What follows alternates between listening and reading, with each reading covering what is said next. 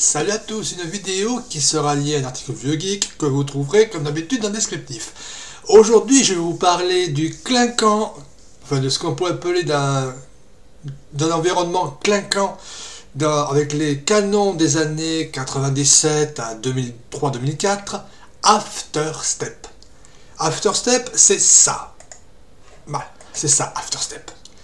C'est un environnement qui à l'origine était conçu, enfin un environnement, un gestionnaire de fenêtres qui a été conçu à l'origine dans les années 97 à peu près, 96-97, pour reprendre l'interface générale de Nextstep. Parce qu'il faut dire les choses. Quand on commence, euh, quand on commençait à l'époque avec Linux, les années 95, 96, 97, au mieux on avait du TWM, du FWM, voire du FWM95, qui, comme son nom l'indique, reprenait l'interface générale de Windows 95, ce qui n'était pas la joie. Donc, il y a AfterStep qui a été développé en se basant du code de FWM. La dernière version date du, de juin 2013, mais si on regarde dans les nouvelles et les old news, news, on s'aperçoit que la première version stable d'AfterStep, la version 1.0, Alors, il faut remonter jusqu'à... Voilà, 4 mai 98. Je vous le mets un peu plus gros.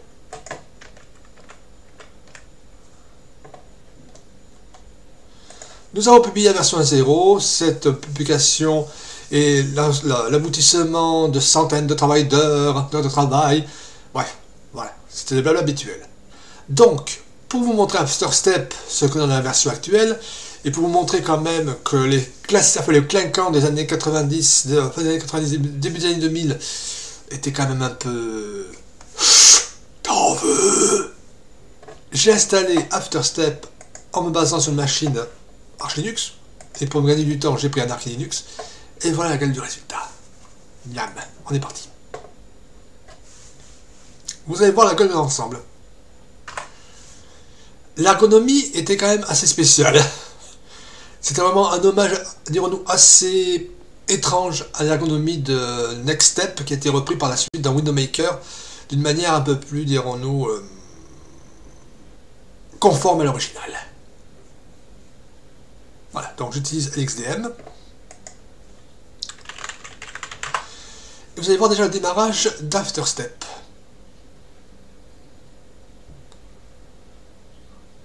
Voilà, donc nous avons AfterStep avec 4 fois 4 bureaux virtuels, travail, web, mail et jeux. Là, on a bien sûr Xsize, l'indispensable Xsize, on a les outils, on a la documentation d'AfterStep, mais malheureusement, elle n'est pas installée avec la compilation de... que j'ai faite. Donc, voilà. Pourquoi il ce 2 Je sais pas pourquoi. Donc, si on regarde After Step, il est très très lourd, compilé. Ça passe pas le contrôle plus. Donc, je vais lancer Terminator, ce sera mieux. Donc, clic gauche, application, émulateur. Non, c'est pas ça, c'est Terminator. Voilà. Donc, je pense que ça va. Voilà, c'est un peu mieux comme ça. Un peu trop gros là même c'est un peu trop gros.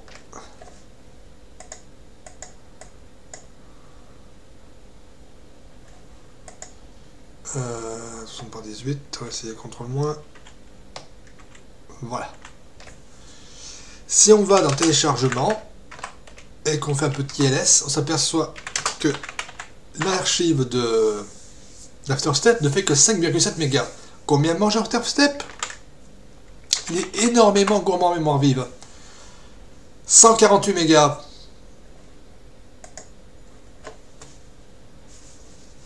Donc vous voyez, c'est du clinquant tout en restant léger. Bon, bien sûr, c'est très léger pour nous.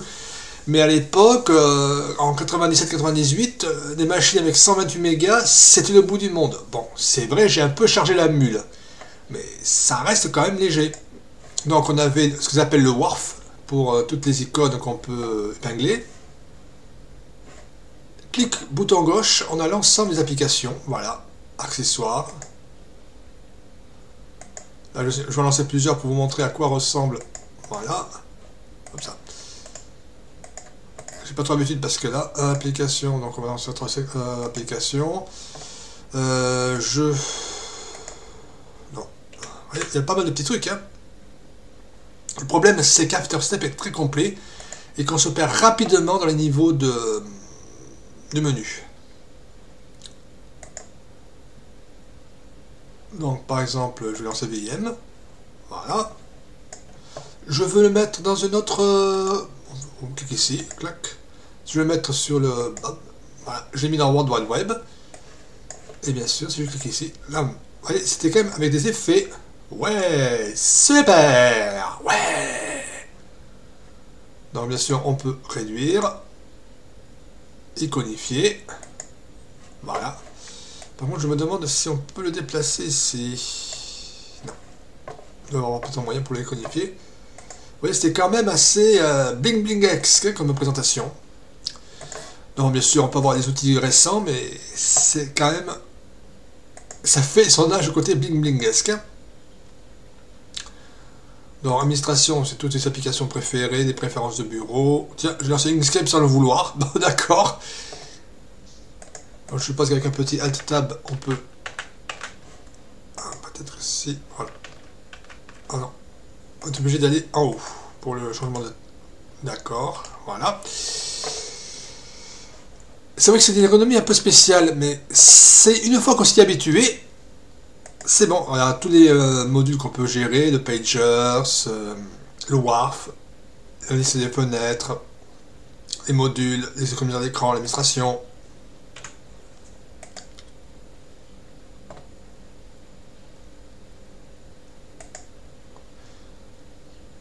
Je sais pas ce qui va se passer là, ça va me lancer un navigateur.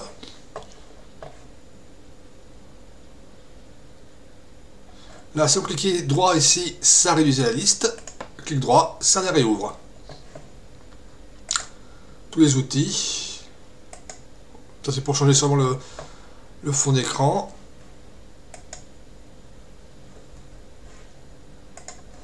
vous voyez, il y a quand même pas mal d'outils. Donc là, je vais fermer ça. C'est une ergonomie un peu spéciale, parce que là j'avoue que j'ai plutôt l'habitude d'utiliser le changement d'ergonomie. Mais vous voyez ce qu'on pouvait proposer à l'époque. Imaginez ça en vers 2002-2003, alors que KDE était encore poussif, que GNOME c'est pas mieux, c'était carrément incroyable.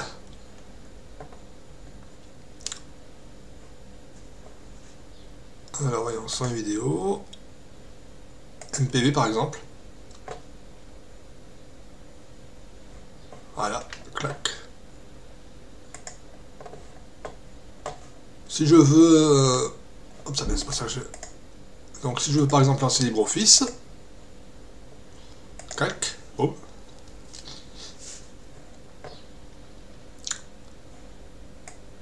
Je me demande si on peut déplacer directement alors là, on a LibreOffice qui est ouvert, on a MPV. Oh, oh là Voilà. Donc c'est vrai que c'est pas super évident. On veut déplacer dans une autre fenêtre, pas de problème, on va le mettre dans... Touf, touf, touf, touf, touf. C'est pas ça. J'ai pas trop d'habitude, donc là je galère un peu, comme vous pouvez le voir. Mais sinon, c'était un peu spécifique comme ergonomie, mais ça fonctionnait. Bien sûr, euh, des outils comme euh, Window Maker sont largement plus développés et plus utilisables. Voilà, par exemple, je vais mettre euh, je vais le mettre dans l'onglet web, donc enfin dans le groupement web, crac. Euh, lui, je vais le mettre dans... Euh, dans mail, par exemple. MPV, je vais le mettre dans game. Pour aussi capturer une... Euh, capture d'écran, faire capture d'écran, voilà. Je sais pas où est-ce que la capture d'écran va être faite, mais... Donc là, on va le déplacer dans le desktop 3, voilà. Bien sûr, on pouvait toujours y accéder rapidement. Avec les superbes effets de changement de fenêtre. Voilà. Donc il n'y a pas grand chose à rajouter, si ce n'est que c'était un peu bling bling, comme vous pouvez le voir. Mais bling bling tout en restant léger. Relativement léger bien sûr. C'est un peu... Waouh Donc là, et si on veut le quitter, c'était simplement ici, crac, stop. On voulait recharger, ça permettait de recharger After Step, et ça, ça quittait la session After Step. Voilà, donc là, je vais quitter. Vous avez vu quand même, c'était un peu bling blingesque, vraiment très bling bling, époque euh, fin des années 90, début des années 2000. Ouais, ça m'a vieilli. Voilà, j'espère que cette courte vidéo vous a plu. Désolé si j'ai un peu galéré parce que je n'ai plus trop l'habitude d'After Step. Sur ce, je vous laisse, je vous dis salut à tous et à la prochaine. Ciao